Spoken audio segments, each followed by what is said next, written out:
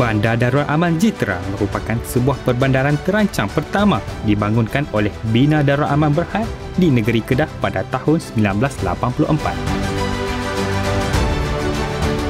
Dibangunkan atas tanah seluas 2,200 ekar, Bandar Darul Aman merupakan bandar satelit bagi Alostar dengan jarak 15 km.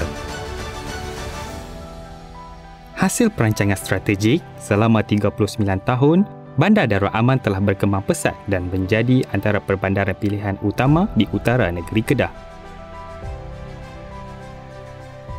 Kini, Bandar Darul Aman akan menerima sebuah lagi rancangan pembangunan 8 tahun dari Bina Darul Aman Berhad iaitu Bandar Darul Aman 3.0.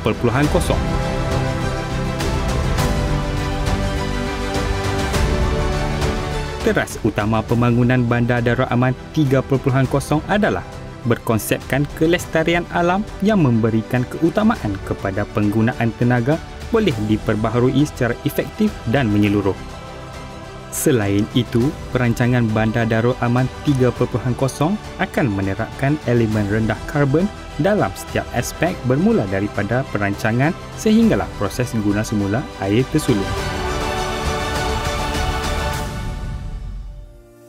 Antara rancangan pembangunan Bandar Darul Aman 3.0 adalah Dataran Darul Aman, Darul Aman Park dan Darul Aman Hills.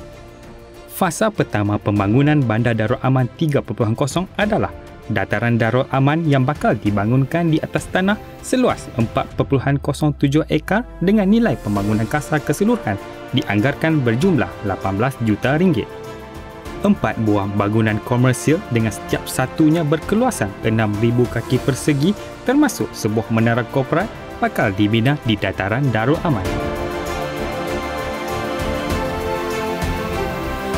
Pembangunan menara korporat ini adalah berkonsepkan keluhuran alam dengan reka bentuk ruang khas untuk pengudaraan dan pencahayaan semula jadi. Menara korporat ini juga bakal dilengkapi dengan komponen serta peralatan yang rendah karbon menjana tenaga elektrik solar secara lestari sekaligus bersesuaian dengan hasrat Bina Darul Aman Berhad menjadi pelopor kepada pembangunan mesra alam sekitar.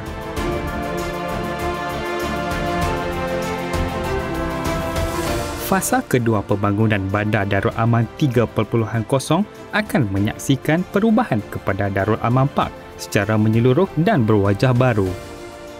Dibangunkan di atas tanah seluas 87.11 ekar dengan nilai pembangunan kasar keseluruhan berjumlah 512 juta ringgit, Darul Aman Park bakal menjadi sebuah hak pembangunan bercampur di Bandar Darul Aman.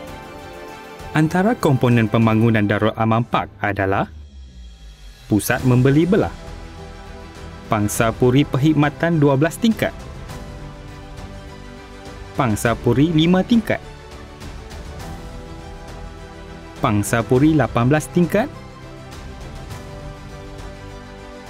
Rumah Bandar 3 tingkat dan hospital pakar dengan kapasiti 100 buah katil.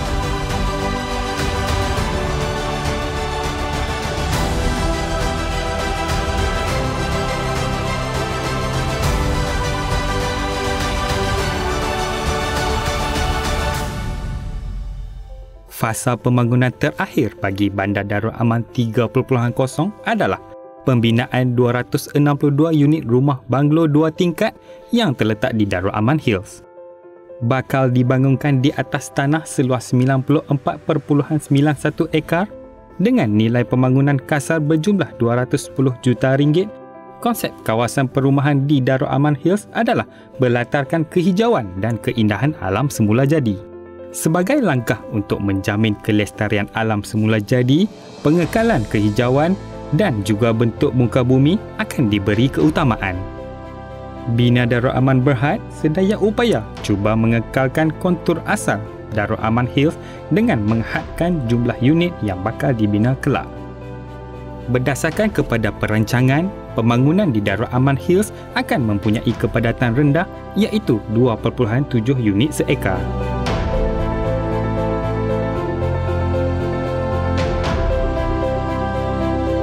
Dengan anggaran nilai pembangunan kasar keseluruhan bernilai 740 juta ringgit, Bina Darul Aman Berhad meletakkan keyakinan penuh bahawa perancangan ini bakal menjadikan Bandar Darul Aman sebuah perbandaran moden dan maju serta tidak mengabaikan keharmonian alam semula jadi.